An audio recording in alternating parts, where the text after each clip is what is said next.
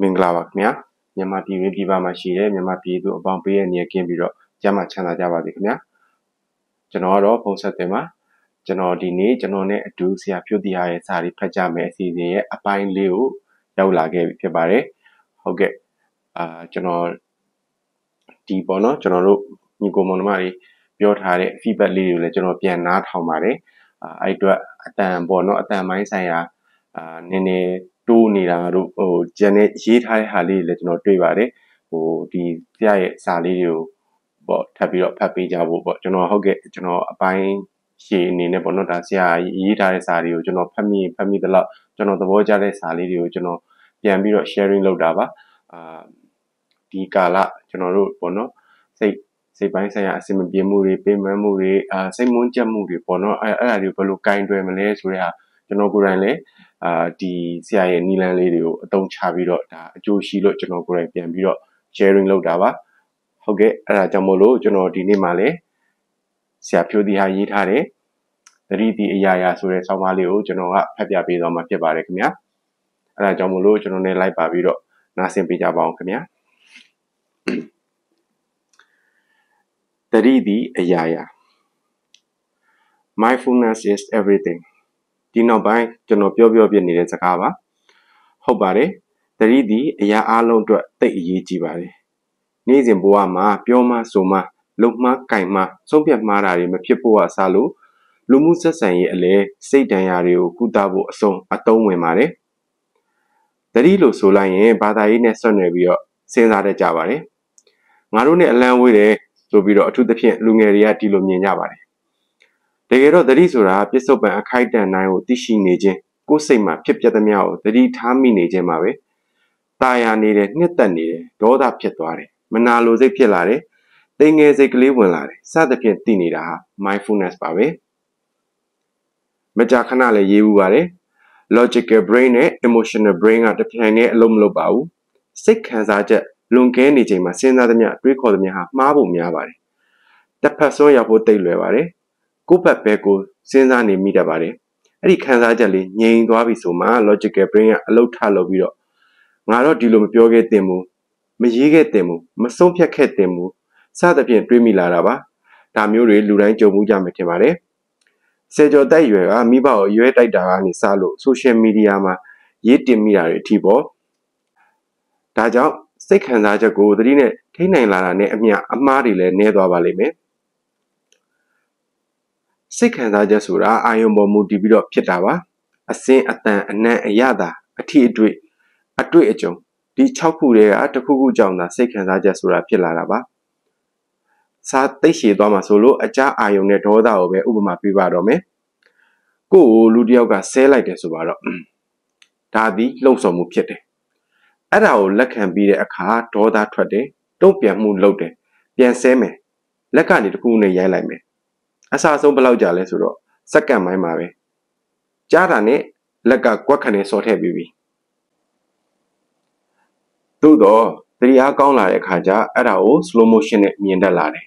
အပေါ်ပိုက်မှာရေးထားသလိုအစင်စင်ပေါ့မြင်တာအောင်ပြောရရင်စေးစော်မှုနဲ့တုံ့ပြန်မှုကြားမှာတတိဝင်လာတဲ့အတွက် gap ကပိုကျဲလာတယ်ဒီအခါစိတ်လိုက်မှန်ပါမလို့ပြီးတော့လူတိုင်းမှာဒေါသတော့ရှိကြတာကြီးပဲထွက်ချိန်အတူရှိရဲ့မထိန်နိုင် ထိန်းနိုင်တာရဲ့ပဲကြွားကြတာပါတတိယကောင်းလာရင်ဒေါသမထွက်တတ်တော့တာမဟုတ်ပါဘူးအရင်ကတစ်ခါထွက်၄နိုင်ကြာနေနောက်တော့၄မိနစ်နောက်တော့၄စက္ကန့်ဒီလိုနဲ့ထွက်လိုက်မှန်းတော့အပြင်ကလူမသိလိုက်တဲ့အစဉ်ရောက်သွားတာမျိုးဖြစ်ပါတယ်ဒါ ਉਹ ပဲဒီလူကဒေါသမထွက်တတ်ဘူးစိတ်မဆိုးတတ်ဘူးလို့ထင်ကြတာပါစိတ်မှာ will power ဆိုတာရှိပါတယ်စိတ်ဆွဲရင်ပဲဆိုတော့အဲ့ဒါအားနေလာတဲ့အခါစိတ်ကထိချုံနိုင်စွမ်းကျဆင်းလာတယ်ရိုင်လဲလာတယ်လုံမိလုံရလှုပ်ချင်လာတယ် လူခန္ဓာကိုယ်မှာကိုယ်ခံအားမကောင်းရင်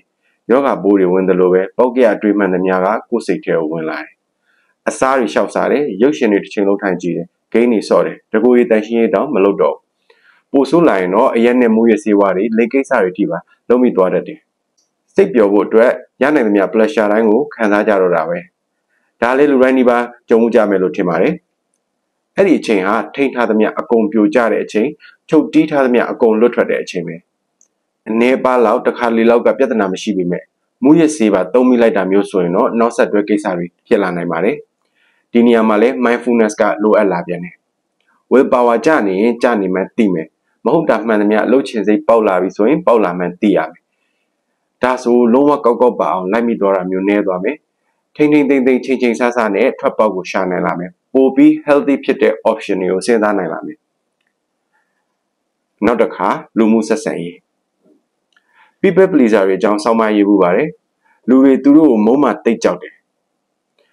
အားနာတတ်တယ်ဘာမဆိုလုပ်ပေးခြင်းနဲ့နိုးလို့ညင်းရမှာတွန်းဆုပ်တယ်အစင်မပြေမပြေချောင်းပြောရမှာဝင်လေးတယ်မျိုးတိတ်ထားတယ်ဒီလိုဇယိုက်လက္ခဏာတွေရှိတယ်ကြာလာတဲ့အခါကျကုကုကိုပျောက်ဆုံးလာတယ်မလုတ်ချင်တာတွေလုပ်နေရတယ်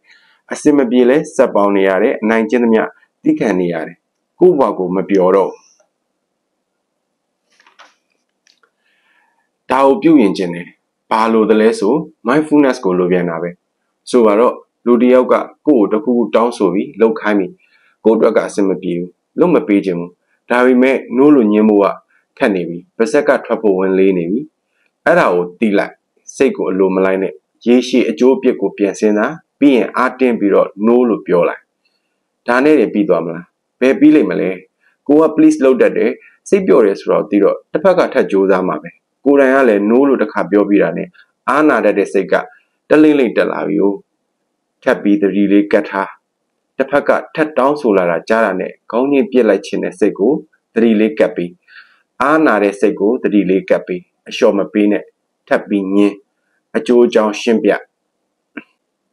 တစ်ချိန်အောင်မြင်သွားလို့ပြောမနေနဲ့တကယ်ကပြောမှလည်းမဟုတ်ဘူးနေရထိုင်ရတာတခုခုလိုနေသလိုကြီးဖြစ်နေလိမ့်မယ် ငါမြတမျိုးထင်သွားပြီလားငါလုတ်ပေးလိုက်ရကောင်းတာဒါလေးလုတ်ပေးလိုက်ရတာဘာပန်းကြီးလို့လဲစသဖြင့်အတွေးတွေဝင်လာလိမ့်မယ်တတိလေးထက်ကတ်နေမတက်ထိုင်မတက်ဖြစ်နေရလေးကိုပါတတိလေးထားဒီလိုနဲ့တဖြည်းဖြည်းအဆင်ပြေလာမှာဖြစ်ပါတယ်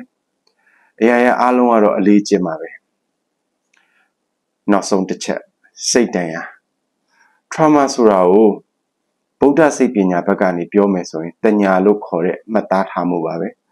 ဆိုတော့ကိုယ့်ကိုရည်သားတစ္ဆာဖောက်သွားတယ်နောက်တော့အစ်စ်ထက်ရတယ်ဒီရည်သားကလည်းအရင်လူလိုပဲလုပ်လိုက်မယ်လို့ထင်နေတယ်တစ်ချိန်လုံးစစ်ဆေးမေးမြန်းမယုံသင်္ကာတွေဖြစ်နှစ်ဦးနှစ်ဖက်ပင်မရတယ်ဘာလို့လဲတညာကြောက်မယ်အရင်ကြီးသားအိတ်တော်မယ်ပြောပြီးကလက်ရောက်နေတာကိုမှတ်ထားဖို့တော့ခူကြီးသားအိတ်တော်မယ်လို့ရိုးရိုးပြောလဲသူငါအိတ်ချိန်မှာဘယ်သွားမလို့လဲမသိဘူးဆိုတဲ့တန်တရားပေါ်လာတာ လိမ်ပိုင်းဆိုင်ရာအကြံဖတ်ခံခဲ့ရတယ်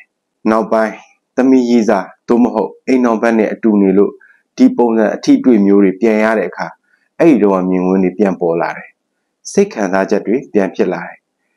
တညာတွေပြန်ပေါ်လာတဲ့သဘောပဲ rumination လို့ခေါ်တဲ့အတိတ်ကဆိုးရတဲ့အဖြစ်အပျက်တွေကိုအပြန်ပြန်အထက်ထက်တွေးနေခြင်းကစိတ်တန်ရာတွေကိုပိုဆိုးရစေပါတယ်ဒါကြောင့်ဒီ trauma တွေကိုကုစားတဲ့နေရာမှာအတိတ်နဲ့ပြစ္ဆုတ်ပံကိုပိုင်းခြားပြီးတော့သိမြင်လေလေ ရောထွေးမမြင်လေလေအဲ့ဒီတန်ရာကနေလွန်မြောက်ဖို့လွယ်လေလေပဲဖြစ်ပါတယ်အဲ့ဒီအတွက် mindfulness ကအရေးကြီးတာပါငါအခုရောက်နေတာပြစ္ဆုတ်ပံအတိတ်ကအဖြစ်ပြက်တွေကြောင့်သာငါဒီလိုခံစားနေရတာပါလားလို့မြင်နိုင်ဖို့ဖြစ်ပါတယ်တကယ်ကြုံရတဲ့သူတက်တော့အခုပြောသလောက်ရေးသလောက်မလွယ်ဘူးပေါ့စိတ်တရားကုစားနည်းတွေလည်းအများကြီးရှိပါတယ်ကျွမ်းကျင်သူနဲ့တေချာတိုင်ပင်ဆွေးနွေးတင်တယ် mindfulness ကဘလို့အကျိုးပြုနိုင်တယ်ဆိုတာကိုသိစေလိုရင်းဖြစ်ပါတယ် တတိအားကောင်းလာအောင်အားထုတ်ဖို့ကတော့နီးလန်းအတွေ့အကြုံရှိပါတယ်ဘယ်သူမဆိုလဲလုပ်လို့ရပါတယ်ဘာသာရေးအလုပ်ဗုဒ္ဓဘာသာဝင်နေနဲ့ပဲသက်ဆိုင်တဲ့အလုပ်လည်းမဟုတ်ပါဘူးကိုနဲ့ကိုက်ညီတဲ့နီးလန်းကိုရွေးချယ်ဖို့ပါပဲဘာဟင်းချက်ချက်စားထည့်ချက်ရတယ်လို့စိတ်နဲ့ပတ်သက်တဲ့ပြဿနာစိတ်ထဲမှာဖြစ်တဲ့စင်းရဲမှုဒေါမနတမှန်သမျှကိုကူစားတိုင်းမှာလေ mindfulness ကိုမဖြစ်မနေထည့်ဖို့လိုအပ်ပါတယ်ဒါကြောင့်လည်းသတိတည်အရာရာ mindfulness is everything လို့ပြောရတာပါဒေါက်တာဖြိုးတီဟာ 22ရက်10လ2023ဟုတ်ကဲ့အာကျွန်တော်ဒီစာလေးကတော့ဗောနော်ဆရာဖြိုတီကကျွန်တော်ကိုများကြည့်ပြီးရေးထားသလားလို့ကျွန်တော်ခံစားရတဲ့စာလေးပါအဲတော်တော်များများလည်းကျွန်တော်ဖတ်တဲ့စာတိုင်းလည်းအဲ့လိုခံစားရပါဘောနော်အဓိကတော့ဒါဒီကာလမှာပေါ့ဒီတတိဆိုတာနဲ့ကျွန်တော်တို့ဘာသာရေးနဲ့ပတ်သက်ပြီးတွဲမြင်တတ်တဲ့လူတွေမှာလည်းကျွန်တော်လည်းပါပါတယ်ဒါကဘာသာရေးနဲ့လုံးဝမဆိုင်ဘဲနဲ့ကိုယ်စိတ်ကိုကိုကိုအလေးကျင့်ဖြစ်အောင်စိတ်ကိုထိန်းချောင်းပြီးတော့အာ ပိုတန်မာလာအောင်ပြီးတော့ပိုကောင်းတဲ့ရွေးချယ်မှုတွေလုပ်နိုင်အောင်ပေါ့နော်ဒါလေ့ကျင့်တဲ့ပုံစံမျိုးလိုပဲကျွန်တော်လည်းမြင်ပါတယ်အာလှုပ်လဲလှုပ်ဖို့ကျွန်တော်ရည်ရွယ်ထားပါတယ်ဒီဆရာပြောသလိုတတိလေးထားဖို့ပေါ့နော်နောက်တစ်ခုကတော့ကျွန်တော်ကိုယ်တိုင်က people pleaser ဆိုတဲ့ဟာကိုဆရာစာတွေဖတ်မှကျွန်တော်ရင်းနေလာတာပါပြီးတော့မှအဲ့ဝေါ်ဟာတာကိုသိတာပါအဲ့တော့ကျွန်တော်ကိုယ်တိုင်လည်း people pleaser 100ရာခိုင်နှုန်းမဟုတ်ပေမဲ့ကျွန်တော်ရဲ့ပုံစံအရာကျွန်တော်80ရာခိုင်နှုန်းတော့ကျွန်တော်ဖြစ်နေပါတယ်ပေါ့နော်အဲ့တော့ ဒီလူလူလူတစ်ဖက်သားဘက်ကိုပဲအရန်ကြည်ပေးတာမျိုးဟိုပြီးရင်နိုးလို့ညင်းရတာအာနာတာမျိုးပေါ့ဝင်လေးတာလိုမျိုးအဲ့လိုမျိုးဖြစ်တဲ့အတွက်ဒါကဟိုဒီဟာလေးဆရာရဲ့ mindfulness is everything ဆိုတဲ့အတိုင်းတတိလေးကပ်ပြီးပြုပြင်ပြောင်းလဲဖို့ပေါ့နော်ကျွန်တော်တို့ညီကောင်မောင်နှမတွေရှိရင်လည်းဒါဒါဆရာပြောတဲ့အတိုင်းပဲကျွန်တော်တို့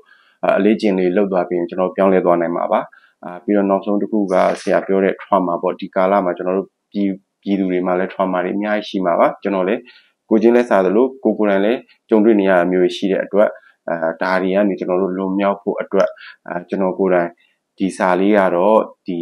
ကျွန်တော်တို့ပြန်ပြီးတော့လက်တွေ့ကျင့်သုံးရင်လည်းအာပို့ပြီးတန်မိုးရှိမယ်အကျိုးရှိမယ်လို့ကျွန်တော်ယူဆတဲ့အတွက်ပြန်ပြီး sharing လုပ်ပေးခြင်းဖြစ်ပါတယ်ဆရာရဲ့စာတွေတိုင်းကတော့သူမိသူဟန်နဲ့ဒါ ကိုယ့်အတွက်အကျိုးရှိပြီးသားဖြစ်ပါတယ်ပေါ့ဒါပေမဲ့အခုလက်တွေ့အဲဒီချက်ချင်းပြောင်းလဲကြည့်လိုက်လို့ဒါပိုကောင်းတဲ့ရလဒ်တွေရလိမ့်မယ်လို့လည်းကျွန်တော်မျှော်လင့်ပါတယ်ဆရာပြောသလိုကျွန်တော်တို့ရဲ့ပိုပြီး healthy ဖြစ်တဲ့ option တွေကိုကျွန်တော်တို့ရွေးချယ်လာနိုင်ပါစေအာပြီးတော့အားလုံးပဲမင်္ဂလာရှိတဲ့နေ့လေးဖြစ်ပါစေခင်ဗျာကျေးဇူးတင်ပါတယ်ကျွန်တော်နဲ့အတူနောက်ပိုင်းနေမှာလည်းဘယ်လိုစာလေးတွေကျွန်တော်ဖတ်ပြအောင်လဲဆိုတော့လေစောင့်မျှော်ပြီးတော့နားထောင်ပေးကြပါအောင်ခင်ဗျာ